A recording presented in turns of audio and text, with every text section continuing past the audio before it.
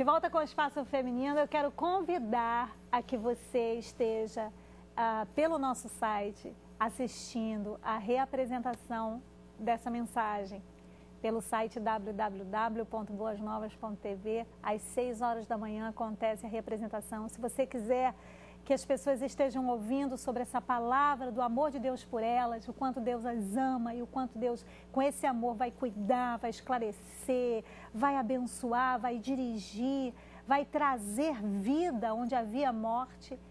Então, convida para o pessoal estar tá assistindo essa palavra que é grande bênção. E agora não fica só no que eu disse, não. Medita no amor de Deus por você que está na Bíblia, na palavra dele. Leia o capítulo 15 de João, leia o, as cartas que o 1 João é, tem ali toda uma trajetória sobre esse amor do Pai por você. Leia o livro de Efésios, que também fala desse amor. Mas agora vamos para uma agenda bem interessante, dá uma olhada.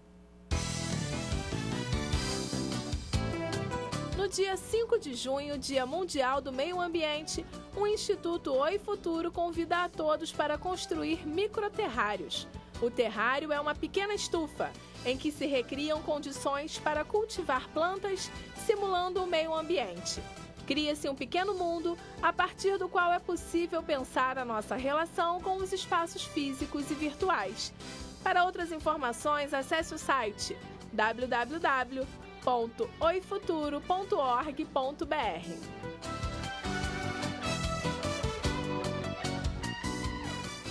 Então, já que a gente está terminando esse programa, eu quero ainda terminar esse Crescendo em Fé com uma palavra de oração para você. Você que recebeu Jesus como seu Salvador e que vai começar esse mês agora de junho, nós vamos orar agora com você.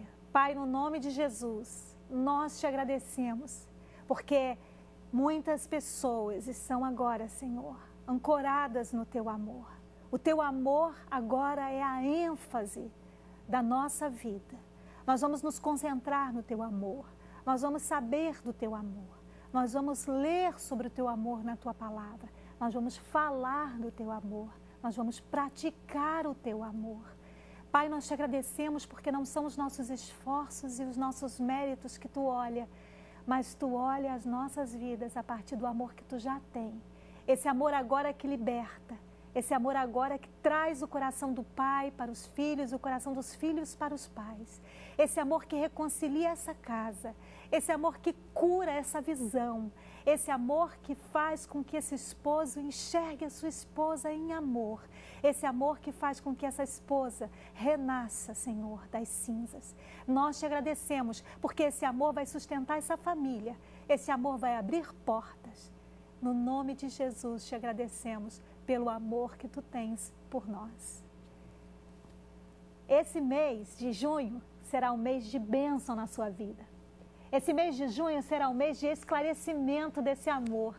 Esse mês de junho você vai caminhar todos esses dias conhecendo desse amor que o Pai tem por você.